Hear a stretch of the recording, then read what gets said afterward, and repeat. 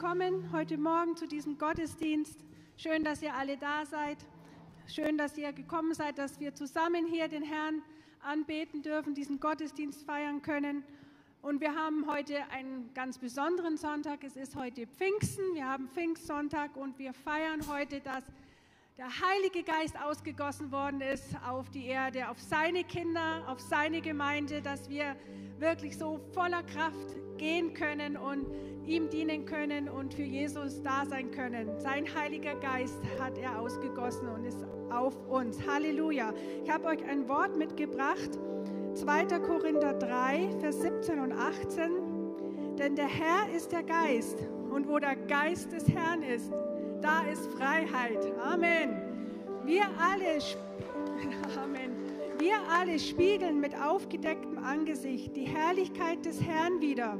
Und der Geist des Herrn wirkt in uns, dass wir verwandelt werden in sein Bild von einer Herrlichkeit zur anderen. Halleluja. Der Geist des Herrn wirkt in uns, dass wir verwandelt werden in sein Bild von einer Herrlichkeit zur anderen. Und wir wollen heute Morgen wirklich den Heiligen Geist einladen und sagen, du bist willkommen, Heiliger Geist. Wirke in unserer Mitte, so wie du das möchtest. Und wir wollen heute Morgen hineintreten in diese Freiheit, die der Heilige Geist wirkt. Und während wir im Lobpreis sind, während wir ihn anbeten, während wir auf, wir auf ihn schauen, wirkt der Heilige Geist in uns. Während wir so eine Anbetung vor ihm sind, während wir uns ihm hingeben, ähm, wirkt er in uns. Und er wirkt in uns, dass wir verwandelt werden in sein Bild von einer Herrlichkeit zur anderen. Amen. Halleluja. Wir wollen es tun. Lasst uns wirklich hineintreten jetzt in diese Freiheit und ähm, wirklich singen und beten und ihn ehren und ihn lobpreisen. Und er wirkt in uns diese Veränderung von einer Herrlichkeit zur anderen. Amen.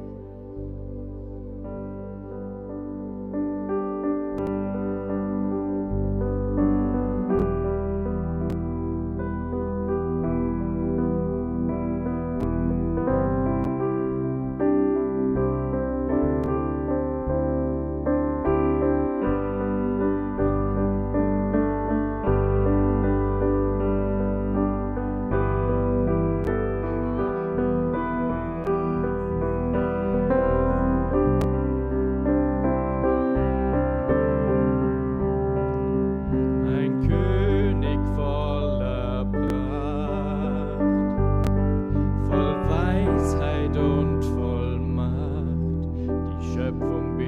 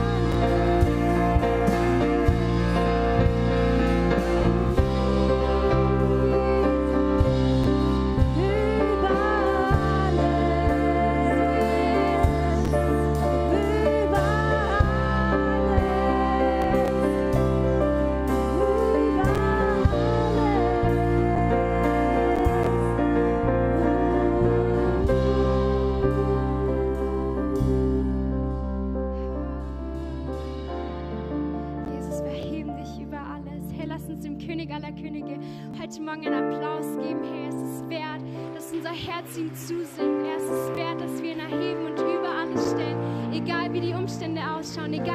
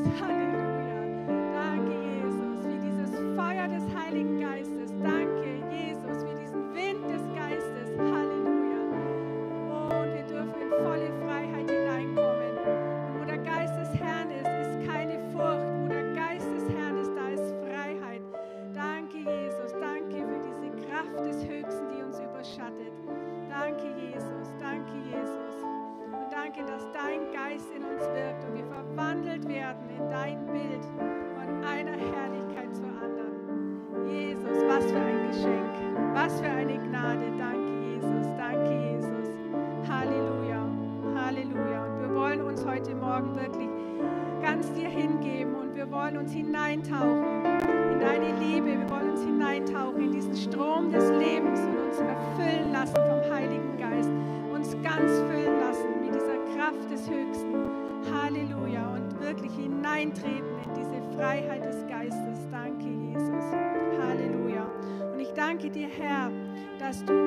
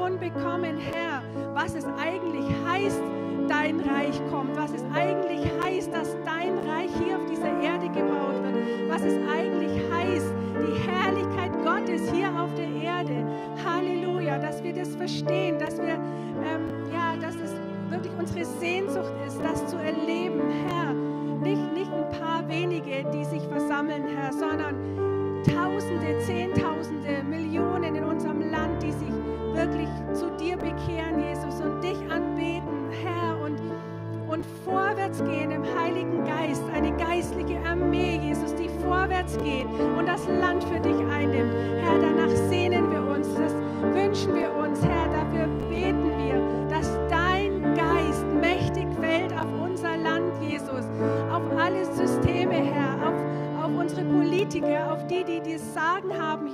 Deutschland, auf die Regierenden, Herr, dass dein Feuer des Heiligen Geistes fällt, Jesus. Halleluja.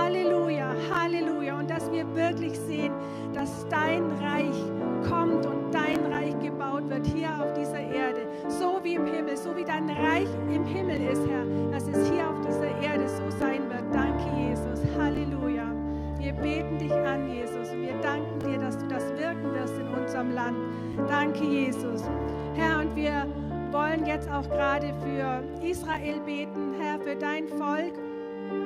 Jesus, wir beten um Frieden, Herr. Wir beten um übernatürlichen, göttlichen Frieden über Israel, Jesus. Und Herr, du sagst, dass du Gedanken des Friedens hast über Israel und nicht des Leides, auf das du Israel gibst Frieden und Hoffnung, Herr. Ja, Herr.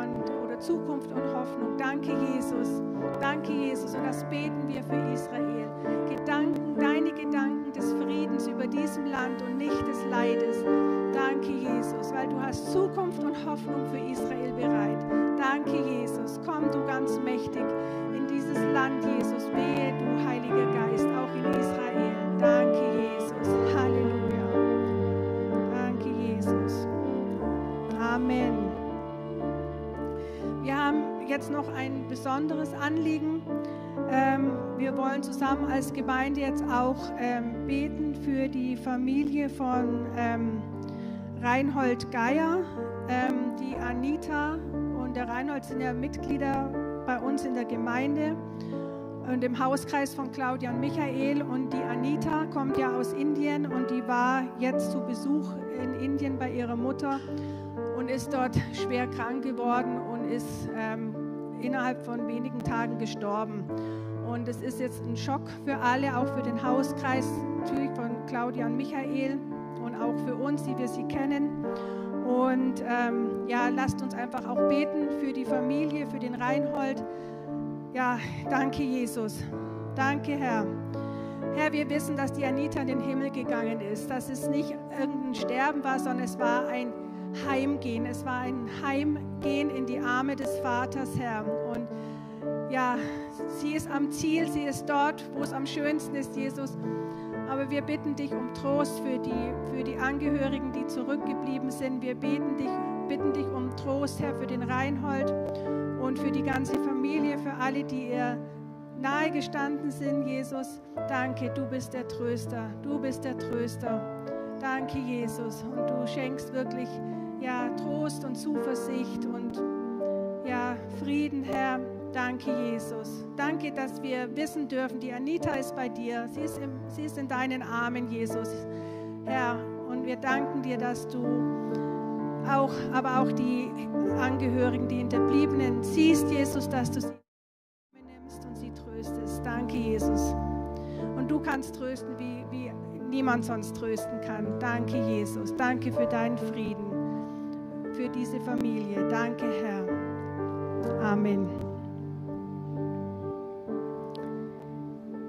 Ja, wir wollen jetzt auch ähm, die Kollekte einsammeln und dem Herrn das geben, was ihm gehört. Der Herr segnet es, wenn wir ihm geben. Und ja, wir wollen beten für die Kollekte. Danke, Herr. Du bist unser Versorger. Wir danken dir, Jesus, dass wir nie Mangel leiden brauchen, Herr, dass wir uns nie Sorgen machen müssen um den morgigen Tag oder was später kommt. Herr, du hast versprochen, dass du für uns sorgst. Und wir danken dir, Herr, für, für ähm, unsere Arbeitsstellen. Wir danken dir für äh, das Gehalt, das wir bekommen. Das ist eine Gnade und ein Segen von dir. Und wir wollen dir gerne geben, Jesus, von dem, was du uns gegeben hast. Danke, Herr. Danke, dass du jetzt die Kollekte segnest. Danke, Jesus. Amen.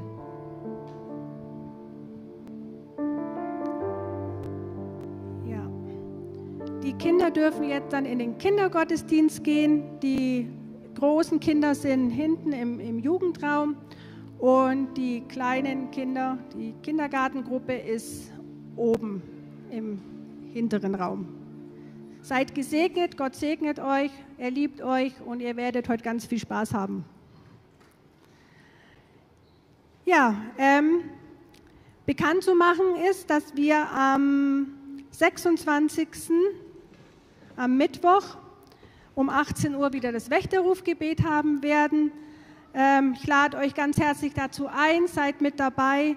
Es ist wirklich ähm, auch immer sehr stark und geht auch immer in eine sehr visionäre und prophetische Richtung. Und ähm, es ist sehr, sehr wichtig, dass wir für unser Land wirklich beten. Ähm, wir, wir warten schon so lange darauf, dass wirklich was passiert, dass ein Aufbruch passiert, dass wirklich die Menschen so aus ihrem Schlaf und ihrer Lethargie aufwachen und wirklich in Feuer vorwärts gehen und wirklich ähm, ja, im Geist Gottes vorwärts gehen, dass viele Menschen errettet werden, dass wir Zeichen und Wunder erleben in unserem Land. Aber das passiert nicht ohne Gebet. Und unser Land braucht Gebet. Und ich möchte euch wirklich ermutigen, kommt am Mittwoch zum Wächterrufgebet. Ansonsten die laufenden Termine mit äh, Hauskreisen. Ähm, genau, erkundigt euch bei den Hauskreisleitern, wie, in welcher Form das stattfinden kann, die Hauskreise. Und ansonsten haben wir am Sonntag, nächsten Sonntag, 10 Uhr wieder Gottesdienst. Genau. Dann freue ich mich, dass unser Pastor heute predigt passend zum Thema Pfingsten, dürfen gespannt sein und seid gesegnet.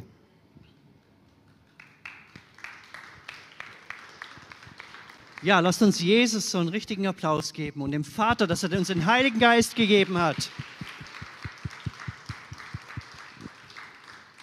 Danke, himmlischer Vater, für dieses Geschenk des Heiligen Geistes. Danke, Jesus, dass du den Weg frei gemacht hast, indem du dein Leben gegeben hast, für unsere Schuld bezahlt hast, uns erlöst hast, damit der Vater dieses Geschenk uns anvertrauen konnte.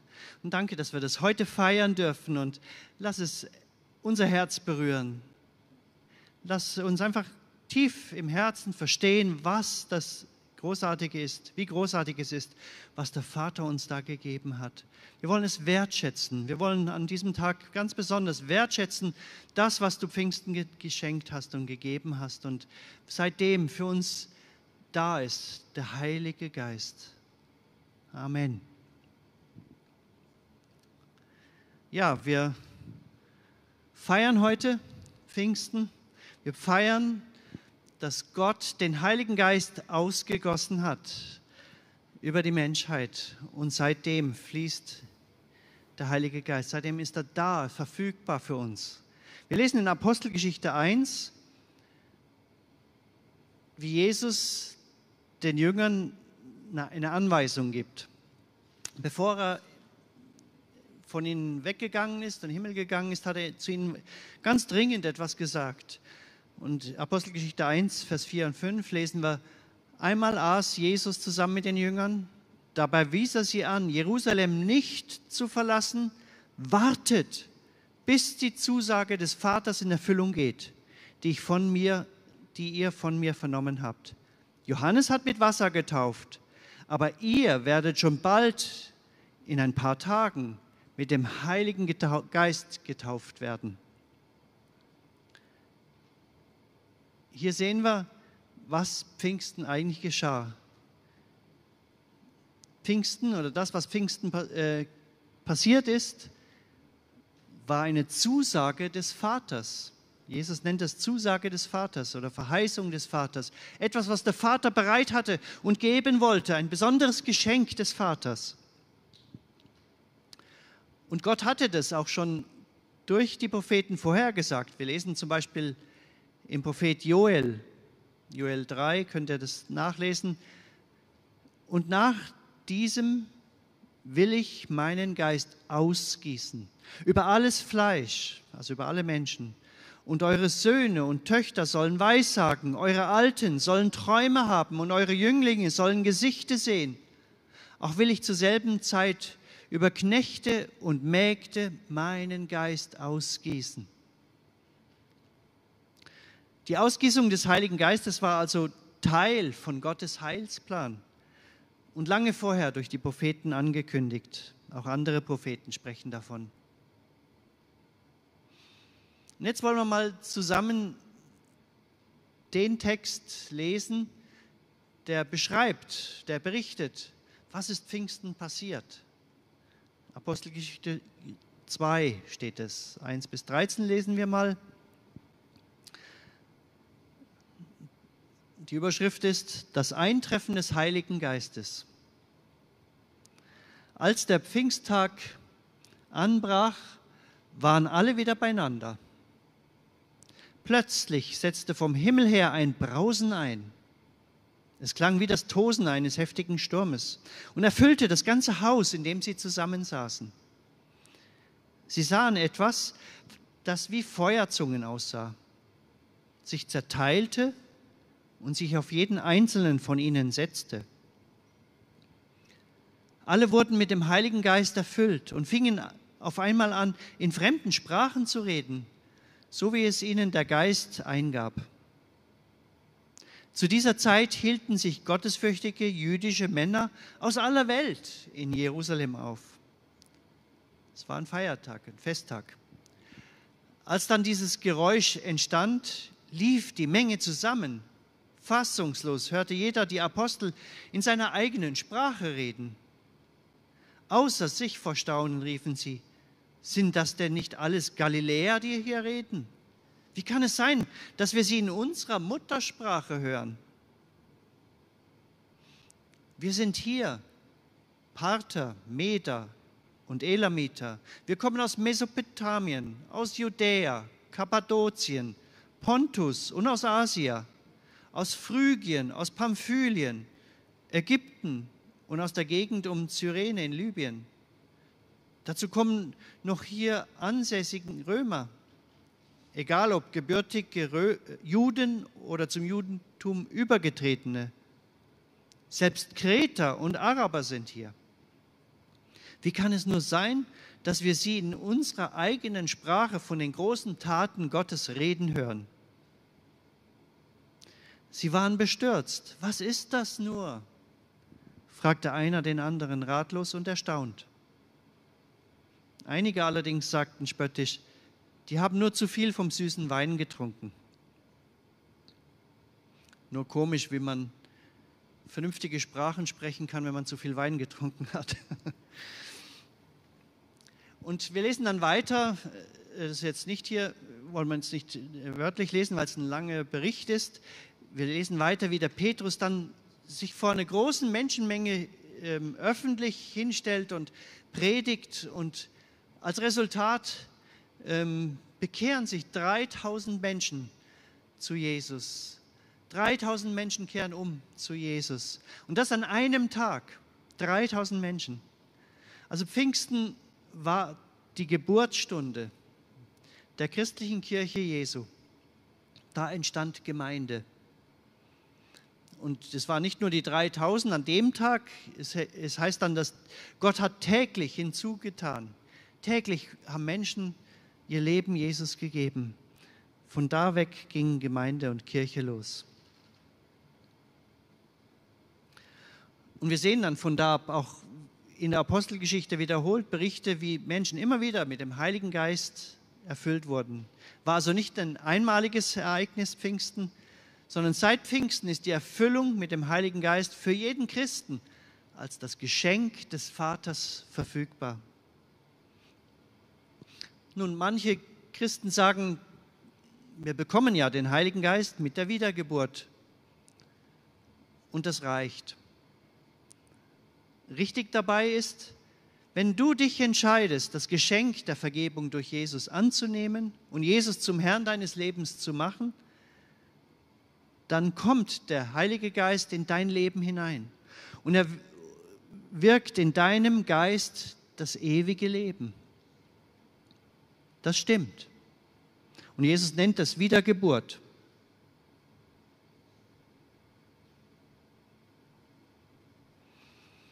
In Römer 8 heißt es, 8, Vers 14 bis 16, denn welche der Geist Gottes treibt, die sind Gottes Kinder. Denn ihr habt nicht einen Geist der Knechtschaft empfangen, dass ihr euch abermals fürchten müsstet, sondern ihr habt einen Geist der Kindschaft empfangen, durch den wir rufen, Abba, lieber Papa oder lieber Vater. Heute würde man sagen Papa. Der Geist selbst gibt Zeugnis unserem Geist, dass wir Gottes Kinder sind.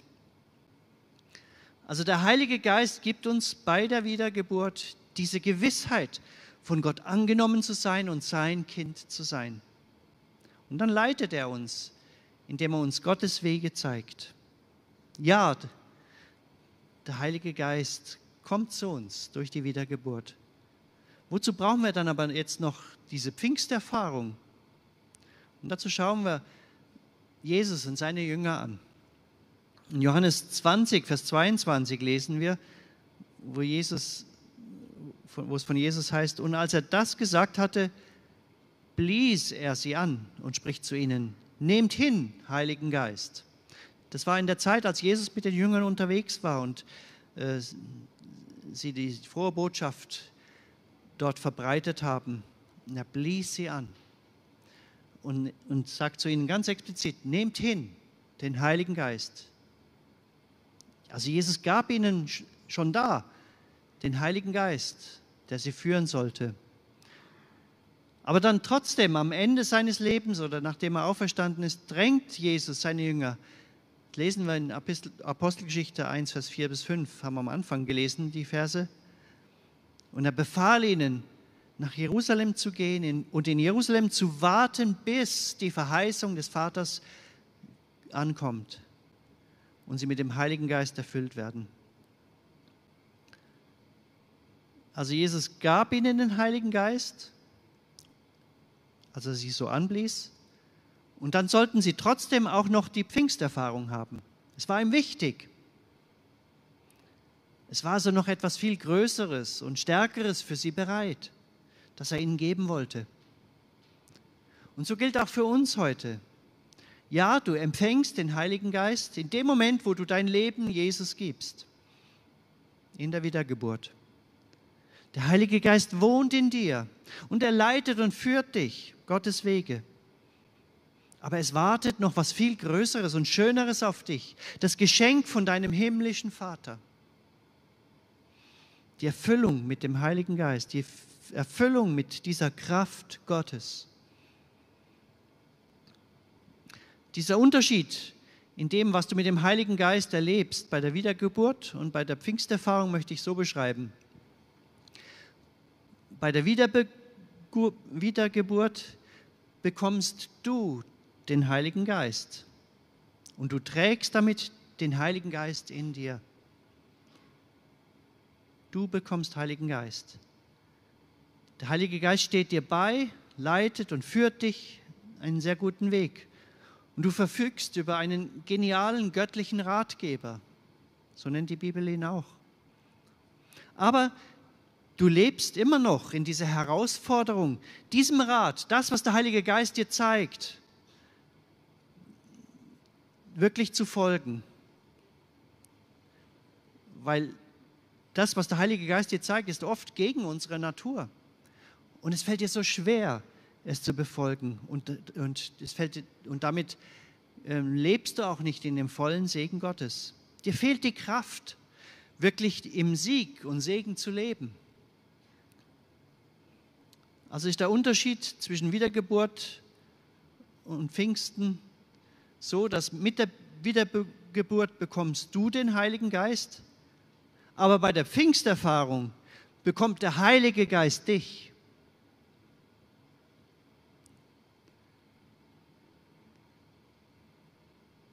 Da hast du nicht, nicht nur etwas vom Heiligen Geist in dir, sondern der Heilige Geist fängt an, die Kontrolle in deinem Leben zu übernehmen. Und er gibt dir die Kraft, ganz nach Gottes Willen zu leben. Und darum ist es so wichtig, dass wir erfüllt sind mit dem Heiligen Geist, dass wir diese Kraft in uns haben. Und wer diese Geistestaufe, so nennen wir diese Pfingsterfahrung, Wer diese Geistestaufe erlebt hat, kann bestätigen, dass es von da an viel leichter war, nach Gottes Willen zu leben. Ihr könnt da sicher viele von euch fragen und die so den Heiligen Geist erlebt haben, können sagen, von da weg war was anders. Auch bei mir war das so. Mit der Geistestaufe, und die habe ich schon recht früh erleben dürfen, das war so eine Gnade mit zwölf Jahren. Ich war ein neuer Mensch. Ich habe ganz anders gefühlt.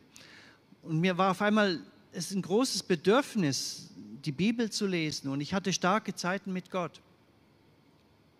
Es hat sich was total verändert in meinem Leben. Auch mein Verhalten hat sich verändert. Davor gab es Schlägereien und Verweise aus der Schule. War keine schöne Zeit. Aber mit der Geistestaufe bekam ich inneren Frieden und es war was anderes. Ich war ein anderer Mensch, auch in meinem Umfeld. Weil der Heilige Geist mir eine ganz besondere göttliche Kraft geschenkt hat. Mit dieser Erfüllung im Heiligen Geist hatte ich Kraft zu überwinden. Und das hat man in vielen Bereichen meines Lebens dann auch sehen können. Meine schulischen Leistungen, die haben einen Riesensprung gemacht. War auf einmal viel besser. Einfach als Auswirkung, als Segensauswirkung von diesem Erfülltwerden mit dem Heiligen Geist. Also für, mit der Geistestaufe hat für mich wirklich ein neues Leben angefangen. Und wir können auch den Petrus angucken. Der war ja auch von Jesus damals angehaucht worden und hat den Heiligen Geist empfangen. Nehmt hin den Heiligen Geist, hat Jesus gesagt. Aber trotzdem war er noch so schwach, dass er Jesus auf seinem Leidensweg verleugnet. Er wurde nur von einer Frau angesprochen und als Jesus Nachfolger identifiziert und hat gesagt, nee, nee, mit Jesus, mit dem habe ich gar nichts zu tun. Er hat seine Jüngerschaft verleugnet. Und dreimal hat er Jesus sogar verleugnet. Und das in dem schwersten Moment, durch den Jesus gerade ging. So schwach war er, obwohl er vom Heiligen Geist, von Jesus angehaucht wurde und Heiligen Geist empfing. Er hatte trotz Heiligen Geist noch nicht den Mumm, sich als Jünger zu outen.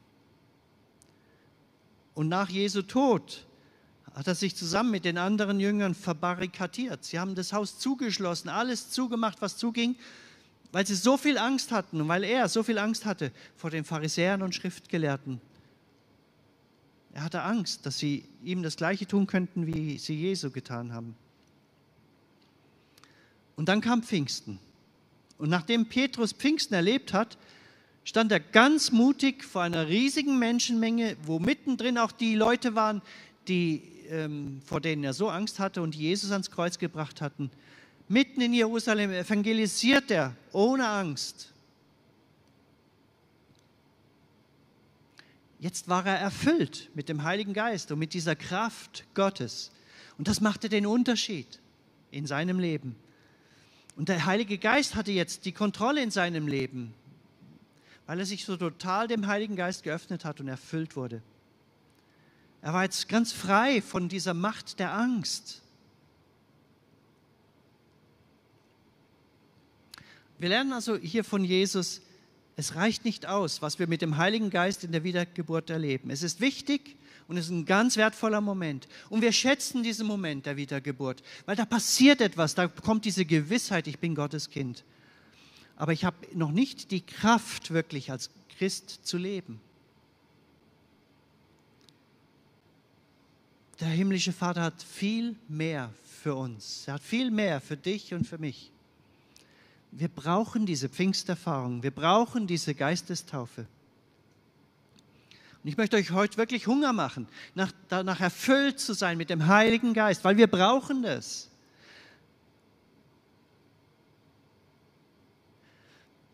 Und jetzt schauen wir an, wie sind die Jünger zu der Pfingsterfahrung gekommen? Was mussten sie tun?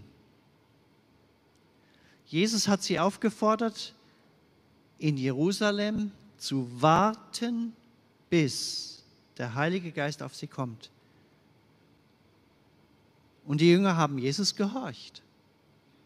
Zehn Tage haben sie gebetet, gewartet, ge ähm, immer wieder waren die ganze Zeit versammelt an einem Ort, um diese Verheißung in Empfang zu nehmen. Sie wussten nicht, wann der Heilige Geist kommt. Sie wussten nur, Jesus hat gesagt, geht hin, wartet, er wird kommen. Sie haben zehn Tage gewartet, bis der Heilige Geist auf sie kam. Wir hatten ja die Woche einen sehr schönen Moment der Einheit, wo wir gemeinsam, Deutschland betet gemeinsam oder so heißt es, wo in ganz Deutschland Gebetsgruppen sich eins gemacht haben im Gebet und da waren dann ähm, auch Interviews und ein Interview mit dem evangelischen Landesbischof Bischof von Sachsen hat mich sehr gefreut, wo er darüber gesprochen hat, wie er diese Begegnung mit dem Heiligen Geist immer wieder sucht.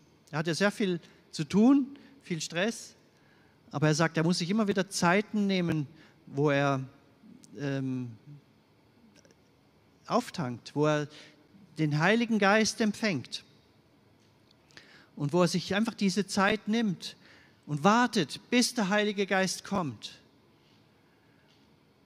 Und was ich sehr schön fand, er hat dann gesagt, und wenn dann der Heilige Geist kommt und diese Freude und dieser äh, Frieden äh, kommt und diese Kraft, dann spürt er, wie der Heilige Geist sagt, und jetzt bleib noch, bleib noch, wart noch, äh, nimm noch mehr, genieß es. Und er sagt, und, und er nimmt sich diese Zeit bei all dem Alltagsstress, den er hat. Und er sagt, aus den Momenten ähm, hat er die, seine Inspiration für seinen Dienst und seine Verantwortung. Es braucht Zeit. Es braucht ein Warten. Weil der Heilige Geist, der drängt sich nicht einfach uns auf, Der Heilige Geist will ausdrücklich eingeladen sein. Er will diesen Raum finden, den er füllen darf. Und während wir auf die Erfüllung mit dem Heiligen Geist warten, wirkt er auch an uns und verändert unser Herz. Und das braucht Zeit. Es braucht so ein sich öffnen, ein zur Ruhe kommen. Und er verändert unser Herz, dass es für den Heiligen Geist empfangsbereit ist. Wenn wir so aus dem Alltag zu Gott kommen, sind wir oft und in der Regel gar nicht wirklich empfangsbereit für den Heiligen Geist. Und darum ist es so wichtig, dass wir warten und dass wir es zulassen, dass er an unserem Herz wirkt und es empfangsbereit macht. Es erfordert von uns, dass wir uns so völlig Gott und seinem Willen ausliefern. Es braucht ein, ein bedingungsloses Ja zu Gott. Nur dahin kann der Heilige Geist kommen, wo wir dieses bedingungslose Ja zu Gott haben. Und das braucht manchmal Zeit. Wir können nicht einfach den Schalter umlegen und ähm, sind voll empfangsbereit. Unser Herz muss vorbereitet werden, empfangsbereit werden für den Heiligen Geist.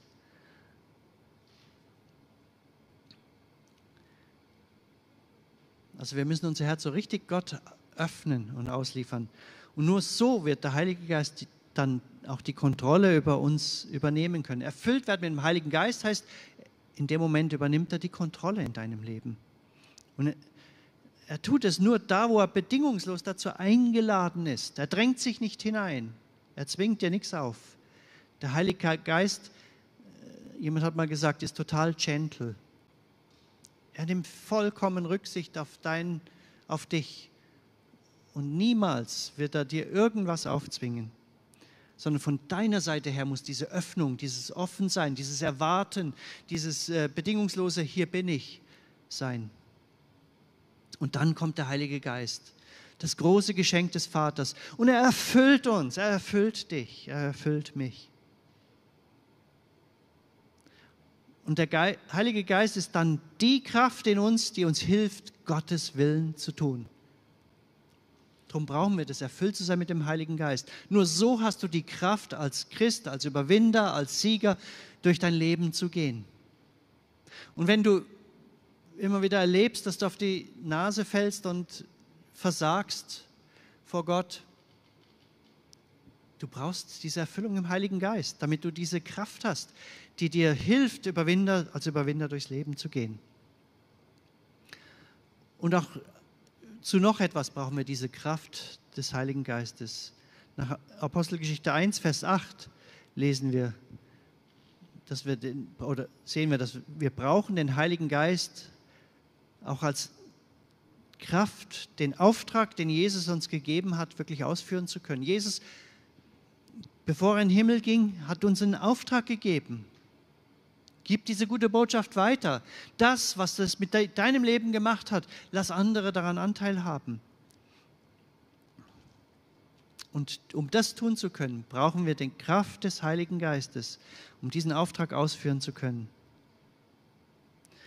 Dort in Apostelgeschichte 1, Vers 8 wird der Heilige Geist als Gottes Kraft zum Zeugendienst beschrieben. Lesen wir es mal. Aber ihr werdet die Kraft des Heiligen Geistes empfangen, der auf euch kommen wird, und werdet meine Zeugen sein in Jerusalem, in ganz Judäa, Samarien und bis an die Enden der Welt. Dazu brauchten sie diese Erfüllung mit dem Heiligen Geist. Sie brauchten diese Geistestaufe, diese Pfingsterfahrung, um diesen Auftrag auszuführen erfüllt mit dem Heiligen Geist, hast du die Kraft und auch diese Ausstrahlung, die es dir leicht macht, Menschen die gute Botschaft weiterzugeben. Wenn du die Kraft des Heiligen Geistes in dir hast, dann wird es so leicht passieren, dass Menschen dich fragen, was hast du? Sie spüren etwas bei dir. Es macht was mit ihnen, dass, wenn du in ihrer Gegenwart bist. Und wer offen ist, der, der wird einen Weg suchen, zu erfahren, was du da hast für, ein, für einen Schatz. Und dann kannst du diese gute Botschaft von Jesus weitergeben. Und wenn es dir so geht, dass die, der Auftrag Jesu schwer, dir schwerfällt umzusetzen, wenn es dir total schwerfällt, evangelistisch zu leben, dann lass dich einfach ganz neu mit dem Heiligen Geist erfüllen und es fängt an zu fließen. Du brauchst diese Kraft, um Zeuge Jesu zu sein. Und jetzt noch ein wichtiger Gedanke. Ich hatte es ja eigentlich schon erwähnt. Pfingsten ist nicht ein einmaliges Erlebnis. Wir sehen in der Apostelgeschichte immer wieder, dass die Christen diese Erfahrung gemacht haben. Apostelgeschichte 8, Apostelgeschichte 9, Apostelgeschichte 10, Apostelgeschichte 19. Auch in den Briefen finden wir das, dass es so etwas ist, in dem man das weiterlebt. Und auch wir brauchen diese Erfüllung mit dem Heiligen Geist immer wieder. Es ist nicht getan mit einer einmaligen Erfahrung. Ja, ich habe mit zwölf Jahren den Heiligen Geist, die Taufe im Heiligen Geist erlebt und das war gewaltig und es hat mein Leben verändert. Aber es ebbt wieder ab. Im Alltag geht, geht was verloren und ich brauche es immer wieder neu. Erfüllt zu werden mit dem Heiligen Geist. Mich total dem Heiligen Geist zu öffnen, dass er die, total die Kontrolle über mein Leben, über mein Herz übernimmt. Weil im Alltag geht uns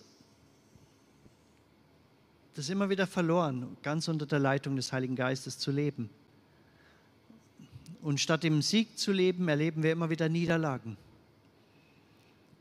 Und dann sei nicht entmutigt, sondern streck dich umso mehr danach aus, immer wieder neu diese Begegnung mit dem Heiligen Geist und diese Erfüllung mit dem Heiligen Geist zu erleben. Und ich möchte dich ermutigen, nutzt diese Lobpreiszeiten, die wir hier immer im Gottesdienst erleben können, um Gott neu zu begegnen. Öffne dein Herz total ihm und hab Erwartung daran, dass der Heilige Geist kommt und dich neu erfüllt dir, dass Gott dir begegnet, im Lobpreis. Ganz oft erleben wir das. Und man, äh, manch einer davon kann sagen, wie, wie ihn das aufgebaut hat, Kraft gegeben hat, geholfen hat. Aber nimm dir auch zu Hause die Zeit mit dem Heiligen Geist. Zum Beispiel, indem du Lobpreis hörst und dir eine spezielle Zeit für Gott nimmst, wo du deine ganze Aufmerksamkeit auf Gott richtest und einfach für, vor Gott da bist, dich ihm öffnest und dann zulässt, dass er dich im Heiligen Geist besucht und neu erfüllt. Nimm dir zu Hause diese Zeit. Nimm dir immer wieder solche Auszeiten mit Gott. Wir brauchen die Erfahrung der Geistestaufe immer wieder neu. Amen. Wer sagt, wer kann mir da zustimmen? Also ich brauche den Heiligen Geist immer wieder neu. Und jetzt wollen wir sehen, noch sehen, wie, die, wie haben die Jünger Pfingsten erlebt. Wir wollen das nochmal anschauen, was wir vorhin schon gelesen haben. Apostelgeschichte 2. Sie waren zusammen. Gebet und Gott suchen in Gemeinschaft ist eine gute Voraussetzung für eine Erfüllung mit dem Heiligen Geist. Nutze solche Momente. Wir hatten letzten Sonntagabend, ähm, die Gebetsstunde, ähm, hatten wir so einen Moment, wo der Heilige Geist uns so nahe kam und viele von uns neu erfüllt und berührt hat. Es war ein starker Abend und ich bin Gott dankbar für diese Momente und suche diese Momente, wo in Gemeinschaft Gott gesucht wird. Und auch heute nach der Predigt wollen wir es mal so machen, dass wir diesem Gott suchen und uns Gott öffnen, noch Raum geben dafür. Darum wird die Predigt nicht sehr lang sein. Als der Heilige Geist dann kam, hörten die Jünger zuerst etwas. Es war wie ein Sturmbrausen zu hören. Geist im Hebräischen kann man auch übersetzen mit Hauch oder Wind. Also hier schenkt Gott das Wirken des Heiligen Geistes im wahrsten Sinn des Wortes als Wind oder Sturmbrausen. Sie hörten, wie der Heilige Geist kam. Und dann sahen sie den Heiligen Geist kommen. Und zwar wie? Es waren Feuerflammen, die kamen. Und sie haben sich verteilt. Und dann auf jeden Einzelnen, auf jeden, der da anwesend war und gewartet hatte, hat sich diese, haben sich diese zerteilten Feuerflammen gelagert. Auf jeden, der dort gewartet hat. Der Heilige Geist ist auch ein Feuer, das alles eigene und Gottfremde verzehrt und uns reinmacht. Der Heilige Geist ist so wie ein heißes Feuer, das Gold reinigt. Wenn man Gold, äh, reines Gold haben will, dann muss man es sehr stark erhitzen und äh, immer wieder erhitzen und die Schlacke abschöpfen, bis dann schließlich das reine Gold da ist. Es geschieht durch Hitze, durch Feuer. Und so ist auch der Heilige Geist ein Feuer, das dich reinigt und den Raum ganz für Gott ähm, heilig und rein macht. Der Heilige Geist ist heilig und kann eben nicht mit Sündigem zusammengehen. Darum ist auch wichtig, dass wir Sünde ganz bewusst ans Kreuz bringen und Jesus um Vergebung bitten, wenn wir den, die Begegnung mit dem Heiligen Geist suchen. Und dann heißt es weiter, dass alle mit dem Heiligen Geist erfüllt wurden. Wie hat sich das geäußert? Das heißt, alle fingen an, in neuen Sprachen zu sprechen. Alle. Ein Geschenk, das mit dem Heiligen Geist kommt, ist das Sprechen in neuen Sprachen. Sprachen, die wir nicht gelernt haben. Weil der Heilige Geist kann so durch seine uns geschenkte Sprache das reden, was in Gottes Augen richtig und wichtig ist. Er fängt an zu sprechen. Er selbst weiß, er kennt Gottes Pläne, er kennt, was gerade abgeht und er weiß, was gerade gesprochen werden muss, gebetet werden muss. Und er tut es durch dich, durch deine Zunge. Und so dürfen wir ein Werkzeug in Gottes Hand sein, das seine Anliegen ähm, im Heiligen Geist durchbetet. Was für ein schöner Gedanke.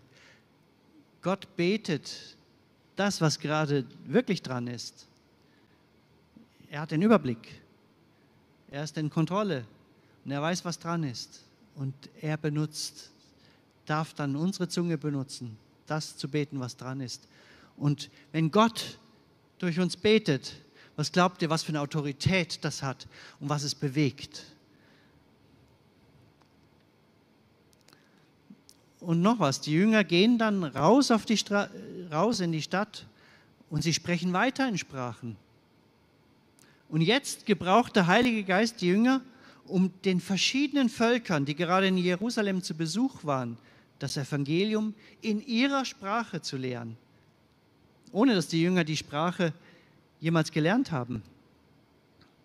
Ist eine Erfahrung, die wir auch in der heutigen Zeit immer wieder hören, wie jemand kommt, zu dem Gott sprechen möchte und in einer Sprache, die er spricht, jemand im Heiligen Geist redet und diesen Menschen trifft, im Herzen trifft, weil er die Sprache versteht. Und derjenige erfährt erst nachher, dass er in einer richtigen Sprache gesprochen hat. Aber manchmal ist es auch einfach nur die Sprache Gottes, Himmelssprache, die keiner, kein Mensch jetzt versteht. Aber der Heilige Geist betet durch uns und Gott versteht es und Gott handelt auf dieses Beten hin. Gott schenkt dort jetzt in, in Jerusalem durch den Heiligen Geist und durch dieses Sprachenreden der Jünger, dass das Evangelium mit dem größtmöglichen Effekt multipliziert wird.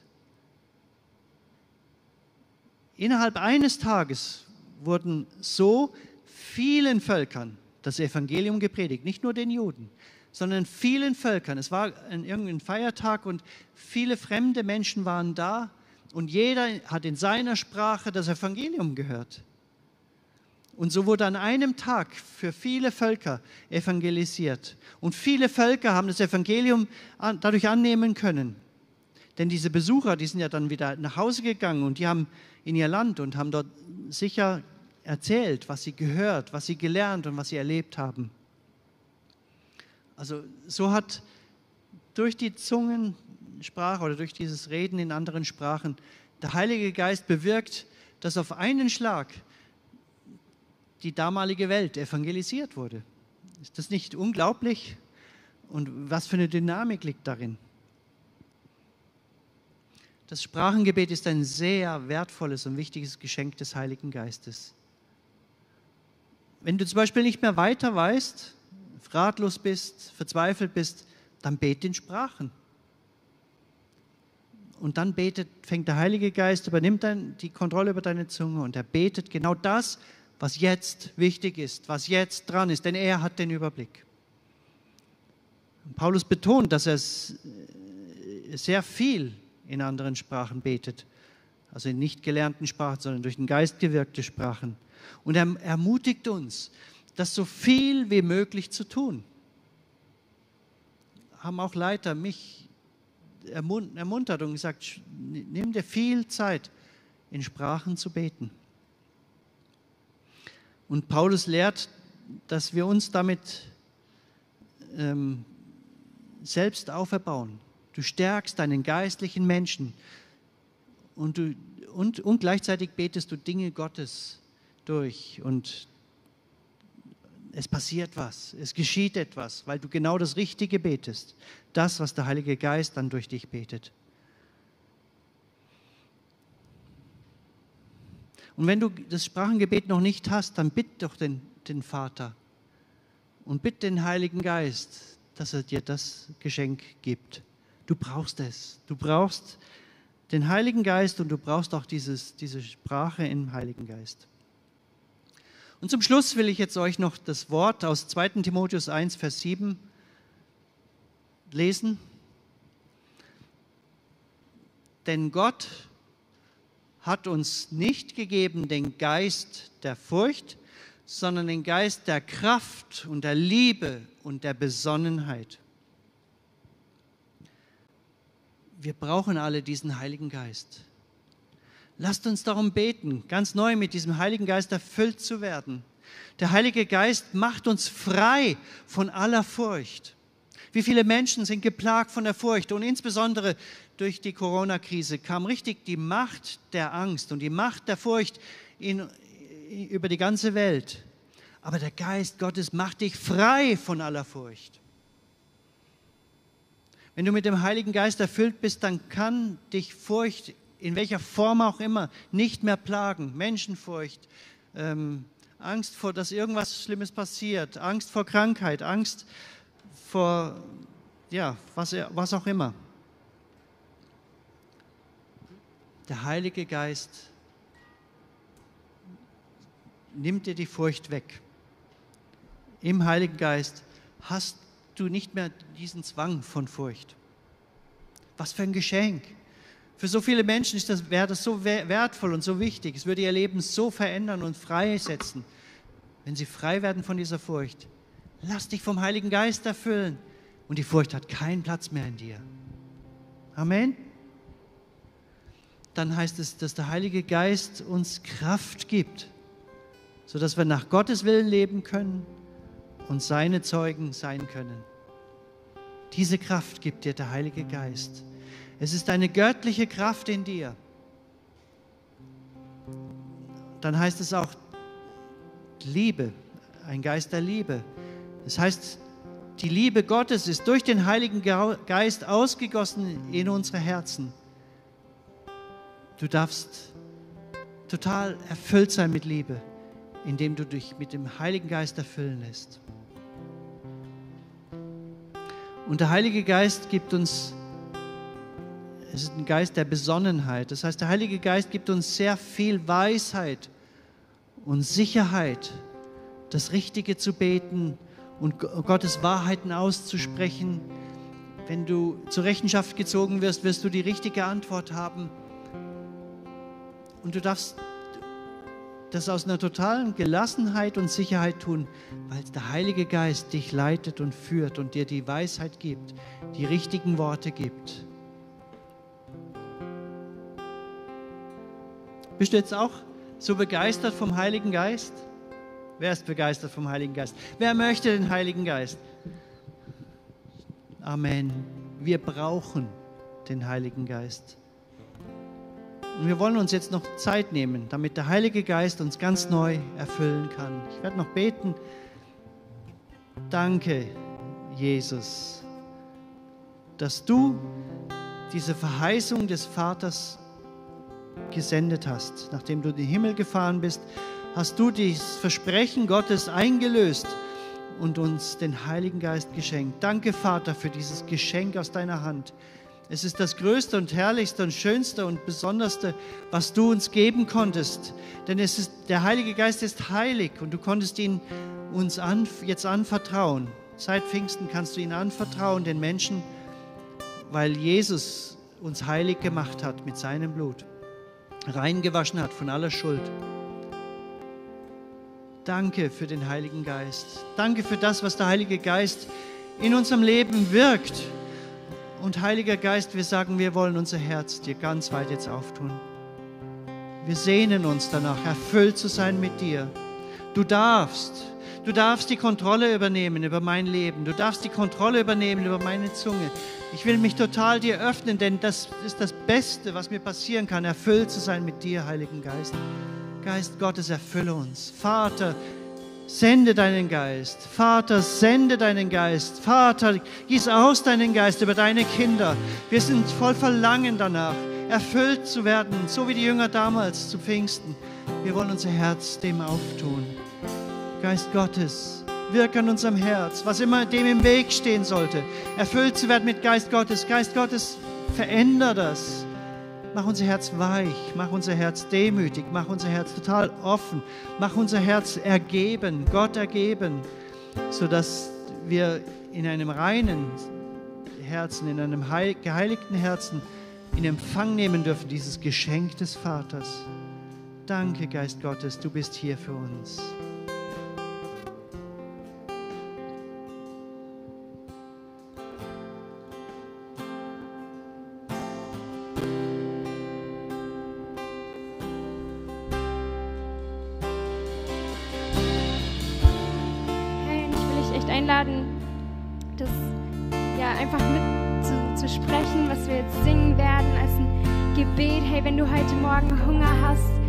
Mit dem Heiligen Geist oder vielleicht zum ersten Mal mit dem Heiligen Geist so richtig erfüllt zu werden, dann, dann streck dich nach ihm aus und mach dein Herz auf. Wie wir gehört haben, es braucht ein geöffnetes Herz, was hungrig ist nach ihm, was ein Verlangen hat nach ihm. Und fang einfach heute Morgen an, ihm dein Verlangen auszudrücken in Worten. Sprich es einfach aus und sag